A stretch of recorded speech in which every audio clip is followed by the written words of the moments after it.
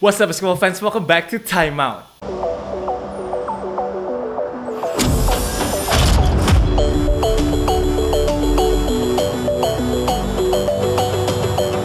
Balik dengan Gorky Padilla, kita kembali ke Info Basket hari itu edisi 12 Oktober 2020 Langsung saja gue ingin memberikan instant reaction gue untuk NBA Finals game ke-6 Tapi pertama-tama gue mau say congratulations untuk seluruh fans Los Angeles Lakers Karena memang Lakers baru saja berhasil menjadi juara NBA tahun 2020 Setelah mengalahkan Miami Heat dengan skor 106-93 Sekarang artinya the job is finished untuk Los Angeles Lakers Karena mereka berhasil melakukan apa yang mereka ingin lakukan di bubble Di mana dengan kemenangan ini dan juga dengan cincin juara baru ini Lakers berarti sekarang secara franchise sudah memenangkan 17 gelar juara dan ini juga menyamai rekornya Boston Celtics.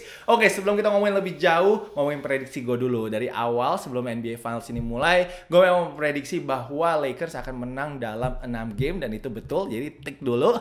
And then the next one, uh, gue bilang memang KCP lah yang akan menjadi X factornya untuk Los Angeles Lakers dan menurut gue selama di NBA Finals ini boleh dibilang KCP KCP adalah pemain ketiga terbaik untuk Los Angeles Lakers. Jadi itu mungkin boleh dibilang betul juga. Jadi tik dulu. And then tadi malam gue prediksi bahwa game ini kemungkinan besar akan menjadi anti-climax. Dan ternyata benar Lakers sempat unggul sampai 30 poin lebih di pertandingan ini. Dan mostly mereka dominan banget. Game menjadi tidak seru. Dan itu juga ternyata benar. So tik juga. Jadi lumayan lah ya. Prediksi gue not bad lah ya untuk NBA Finals kali ini. Tapi yang pasti sekarang kita langsung ngomongin aja. Dengan Lakers menjadi juara, LeBron James lah yang kepilih menjadi NBA, uh, NBA Finals MVP. Memang luar biasa sekali. Gue belum punya statsnya average-nya LeBron selama NBA Finals ini. Tapi yang pasti LeBron ini merupakan cincin keempatnya. Dan juga ini merupakan Finals MVP keempatnya. Dia hanya tertinggal dari Michael Jordan saja yang memiliki 6 MVP Finals dalam sejarah NBA. Uh, ini juga merupakan pencapaian yang luar biasa. LeBron itu menjadi pemain pertama yang berhasil memenangkan Finals MVP dengan tiga tim terbe uh, berbeda. Waktu itu gue salah info karena waktu itu gue bilangnya bahwa memang uh, LeBron dan juga Danny Green memiliki kesempatan untuk menjadi yang pertama menang dengan tiga tim yang berbeda. Ternyata Robert Horry sudah pernah men uh, mencapai pencapaian tersebut. Jadi gue koreksi sekarang ternyata Finals MVP dengan tiga tim yang berbeda. Oke, okay, uh, selain itu LeBron juga memecahkan rekornya Derek Fisher yaitu bermain sebanyak 260 game di uh, eh, NBA Finals sedangkan Derek Fisher 259. So LeBron James pencapaian memang di uh, di NBA Finals luar biasa sekali. Dia pun hari ini berhasil mencetak triple double dan juga oh sorry sebelum kita ngomongin LeBron yang pasti Lakers jelas ini job finish dan juga mereka berhasil melakukan tribute yang menurut gue luar biasa sekali untuk almarhum Kobe Bryant dan juga Gianna. Mereka benar-benar mendedikasikan ini semua ke kemenangannya untuk Kobe Bryant dan juga Gianna. Gue yakin kalau masih ada Kobe, dia dan juga Gianna pasti mereka akan proud and happy banget dengan pencapaian Los Angeles Lakers. So rest in peace untuk Kobe Bryant. I'm happy karena skornya 4-2 juga. Uh, I think that's a good apa ya, a good score for kita semua NBA fans bisa menikmati NBA Finals ini. Oke, okay, kan kita balik lagi ke LeBron James. LeBron hari ini triple double dengan 28 poin, 14 rebound dan juga 10 assist. Uh, dia triple double ini merupakan triple double ke-11 di NBA Finals.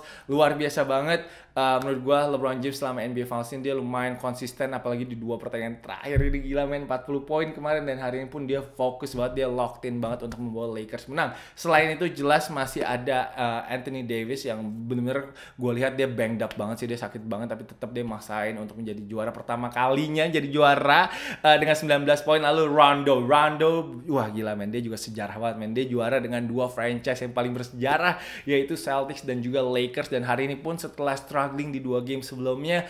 Gue bilang Rondo harus came up big for the Lakers and he did it. Dia mencetak 19 poin hari ini. Very very penting banget, important banget dari bench Lakers hari ini. Dan jelas X factor gue KCP hari ini mencetak 17 poin.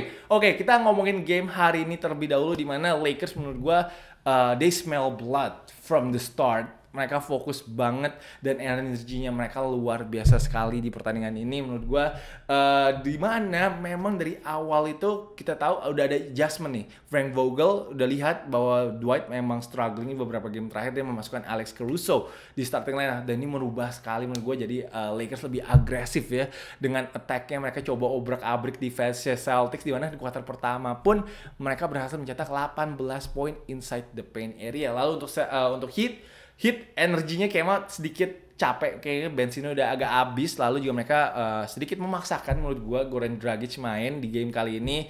Uh, he got a minute here and there. Not bad though tapi untuk Goran Dragic tadi pas masuk langsung kasih alley ke ke Bam Adebayo. Uh, tapi Lakers was just too much. Defensively mereka locked in banget. High intensity jarang miscommunication. Setelah kemarin kita tahu gue ngomongin tentang breakdown defense-nya Lakers di game kelima kemarin. Tapi di game keenam mereka benar udah benar-benar betulin semua dikoreksi semua kesalahan mereka di defense pick and roll coverages yang mereka luar biasa banget uh, active hands jadi membuat deflection baik dan itu membuat LeBron James juga beberapa kali berhasil melakukan fast break dan Babak pertama gila men. Rajon Rondo masuk 6 dari 6 langsung 13 poin. Dia 5 kali lay up tadi inget gue di babak pertama jadi benar-benar memang defense defense hit pun nggak se-sharp itu di pertandingan ini sehingga Lakers memanfaatkan itu. Dan kayak memang that legs tired uh, kakinya udah capek semua untuk Miami Heat itu Uh, karena memang break cuma satu hari. Ya kita tahu banyak sekali pemain Miami Heat yang main heavy minutes mereka cuma tujuh pemain doang rotationnya. Itu menurut gua uh, memainkan peran yang besar juga di pertandingan ini di mana Jimmy Butler mencetak 8 poin 5 rebound dan 5 assist di babak pertandingan. Menurut gua uh, dia agak capek sih tapi mainnya agak nggak terlalu agresif banget kalau dari penglihat penglihatan gua. Uh, tapi dengan Lakers memang high intensity ini AD juga luar biasa. AD 15 poin KCP 15 poin di babak pertama and then LeBron juga 11 ini Lakers langsung 64 poin di babak pertama sedangkan Miami Heat hanya 36 poin saja. Jadi benar-benar di babak pertama udah dihabisin menurut gue uh, perlawanannya Miami Heat walaupun memang di babak kedua itu Miami sempat sedikit melawan tapi menurut gue Miami sayang banget. Mereka banyak open shot tapi mereka miss. Itu mungkin memang dari akumulasi kakinya capek juga menurut gue ya. Duncan Robinson, Jay Crowder, uh, Jimmy menurut gue beberapa kali dapat kesempatan untuk melakukan run. Dan mereka sempat melakukan run di awal kuarter keempat. Di awal kuarter keempat itu memang intensity defense Lakers itu agak turun menurut gue sehingga Frank Vogel saat si Miami Heat sempat mengkat uh, lead yang mereka jadi 21 itu Bam sedang on fire. Bam hari ini oke okay banget menurut gue mainnya untuk Miami Heat. Uh, langsung time out dan setelah itu mereka refocus regather again and uh, AD LeBron take over again. Menurut gua Lakers pemain Lakers lainnya juga oke okay banget. Uh, Danny Green juga menurut gua mainnya oke okay, walaupun he miss of shot tapi dia fokus menurut gua.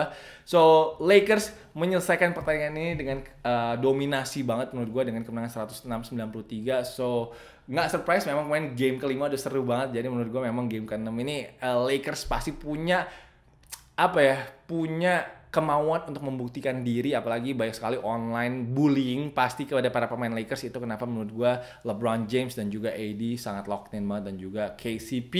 Oke, okay, Uh, untuk dari Miami Heat tunggu bentar gue akan buka dulu. Ini gue agak lepas nih kan memang live ini. Cie asik live. Nggak tapi maksud gue ini instant reaction. Gue akan buka dulu untuk box score Miami Heat. Uh, hari ini Bam Adebayo 25 poin lalu juga uh, sayang banget Jimmy Butler hari ini hanya selesai dengan 12 poin. Ini lowest outputnya dia lalu juga Jay Crowder 10 poin. Tyler Hero sih hari ini juga struggling banget hanya 7 poin. But uh, jelas pertama-tama gue mau kasih kredit juga lah kepada tim Miami Heat ini.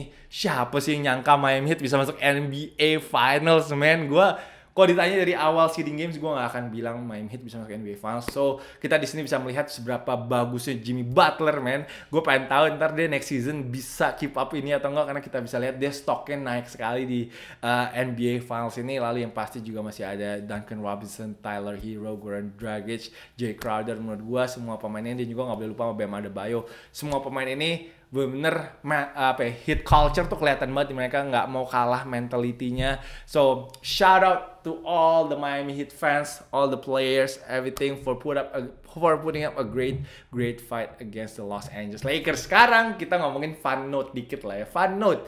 Pertama Alex Caruso uh, dia miss his sister wedding untuk menjadi juara NBA menurut gue itu worth it banget.